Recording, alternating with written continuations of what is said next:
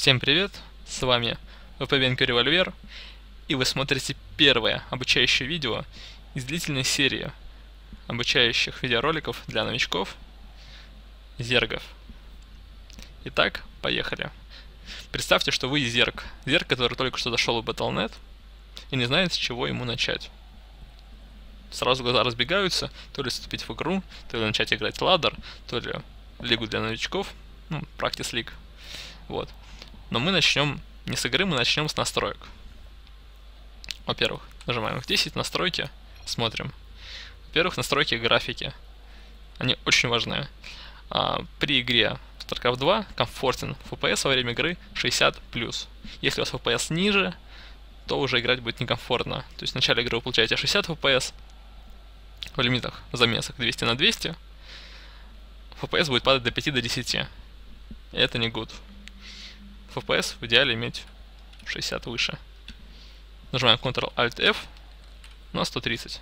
Отлично. FPS нас устраивает. Если бы FPS был там 50, понижаем все. Вот здесь. Переходим дальше. Звуки. Нас устраивают. Голос. Тоже управление. Эм, скорость прокрутки мышью, клавишами и перетаскивание карты мыши.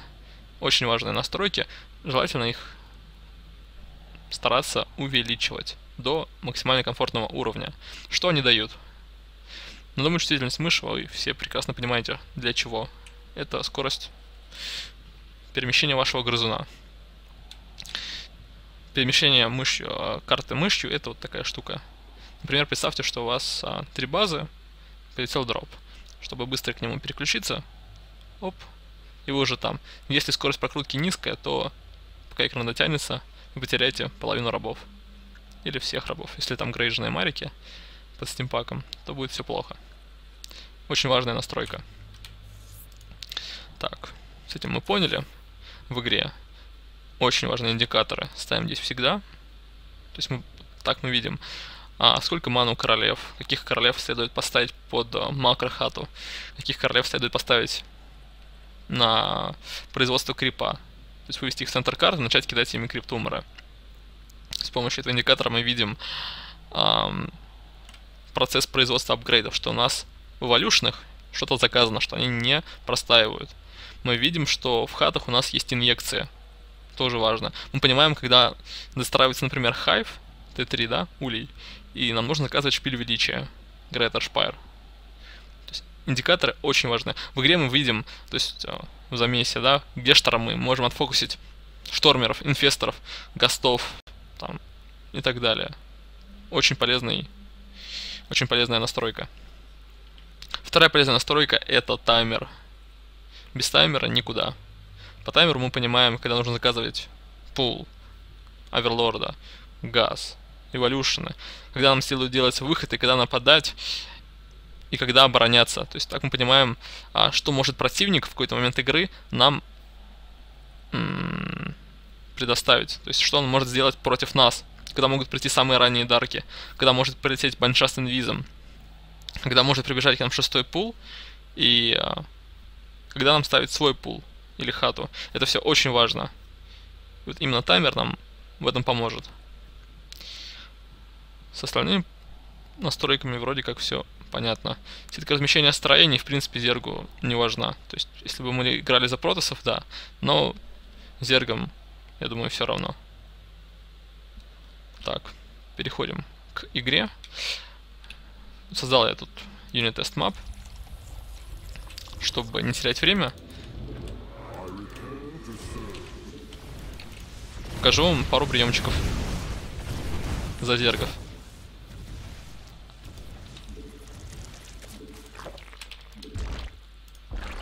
Приемчики, в принципе, довольно простые, но, возможно, некоторые о них не слышали. В принципе, у нас как раз видео для новичков, которые мало времени уделяют StarCraft и хотели бы научиться играть хорошо, не прикладывая больших усилий. Итак, приступим. Одна из самых больших проблем новичков — это инъекция. То, что копятся деньги, или наоборот денег мало, потому что у нас королева с полной маной нет личинок на рабов. То есть мы не умеем, новички, да, не умеют прокликивать хаты. А, окей, способов прокликивания хаты два. Первый способ, корейский, это f -ки. Мы биндим местность на f1, f2, f3, f4, f5. Для этого нам нужно в горячих клавишах поменять. А, создаем новый профиль. Например, это будет у нас стандартный как основа. Заходим в общие настройки, развернуть все. И а, меняем кнопку создать положение 1 на Ctrl F2. Кон положение 2 F3 и так далее. В сумме нам нужно а, 4 кнопки. 4, потому что больше 4 королев, в принципе... Так, стоп. 3. Больше 4 королев, в принципе, зергу не требуется для инъекций, и это максимум. Именно инъекционных королев. Вот. И меняем кнопку перехода к положению. На Ctrl F2. Оп, не так. Просто F2. F3. F4 и F5 возвращаем Ctrl F2. Ctrl F1 не трогаем, потому что он нужен для выбирания, для мгновенного выбора всех втыкающих рабов. Сейчас я вам покажу. Нажмем «Да». И вот так. Вот смотрите. Например, у нас есть рабы, которые остались после дропа. Стиран дропнулся, мы рабов развели. Рабов не потеряли, мы молодцы. Но рабов нужно собрать. Нажимаем Ctrl F1, выбираются все несобирающие рабы. Возвращаем их на минералы. Окей. Теперь перейдем уже непосредственно к инъекциям. В принципе, биндить королев не обязательно при этом способе. F2. Так. А, во-первых, нужно забиндить местность, как-то я. F2. F2, Ctrl F3, Ctrl F4, Ctrl F5. Чтобы ровнее биндились у вас хаты, рекомендую бэкспейсом э, центрировать камеру на хате. Backspace. Ctrl F3. Backspace. Ctrl F4. Backspace. Ctrl F5. И переключаемся с помощью F. F2, F3, F4, F5. Вот так делаются корейские инъекции довольно быстро и эффективно. Но есть способ еще быстрее, который требует меньше, меньшего нажатий клавишами, скажем так. Способ называется, ну, как у меня лично, это W, WE. То есть это две кнопки, а, в которые перебиндены у вас кнопка Backspace и кнопка инъекции королев. Сейчас я вам покажу этот способ. Заходим опять же в горячие клавиши в общее, развернуть все. А, не в общее. Ну, общее вначале, да.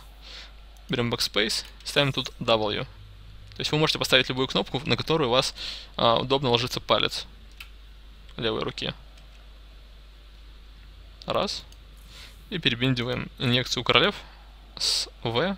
Ставим альтернативную кнопку, например, E. То есть у меня получается W и E, очень близко расположены, мне удобно их зажимать. Жмем ОК. И теперь смотрим, что у нас получается. Мы жмем Shift, E и зажимаем W. Пока не зажали, но просто Shift E. Сейчас нажимаем W, просто бешено кликаем. И левую кнопку мыши по центру экрана. Еще раз. Сейчас покажу вам в динамике. Сделаем скорость сам. Пробинтим все хаты. Посмотрим, сколько времени у нас идет на инъекции вот с таким способом. Ну, сделали пачку собак. И побежали. Допустим, мы харасим Протоса или Террана, масс-псами. Мы бегаем. Посмотрите, сколько времени у вас идет на инъекции. Вот бежим сами.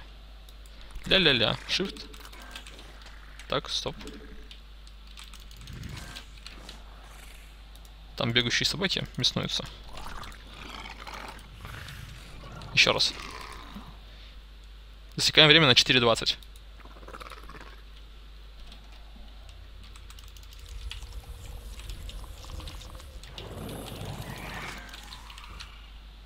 Ну нас шло где-то 2 секунды. Еще раз.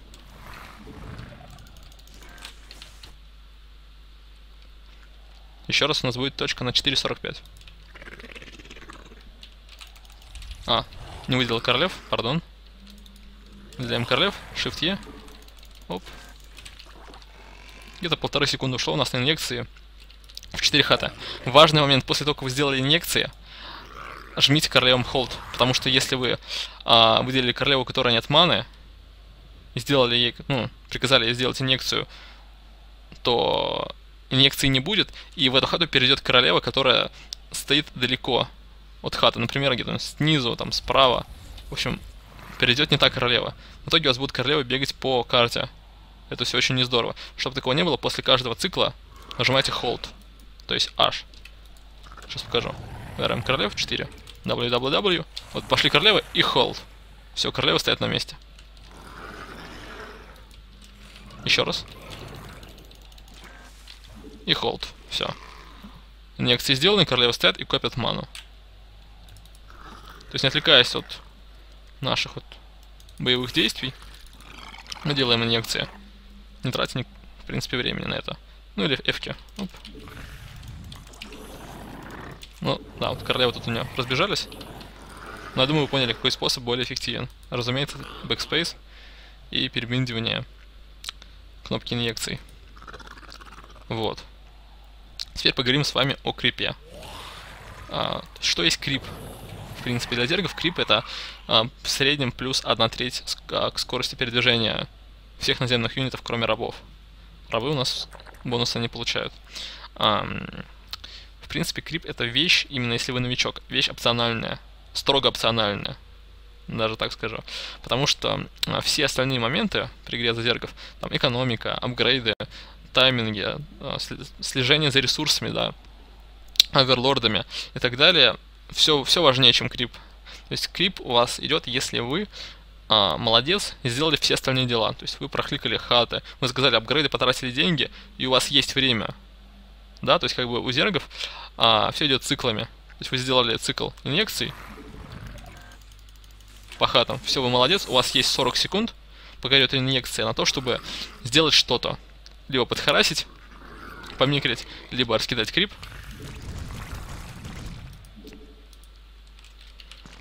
либо развесить оверлордов.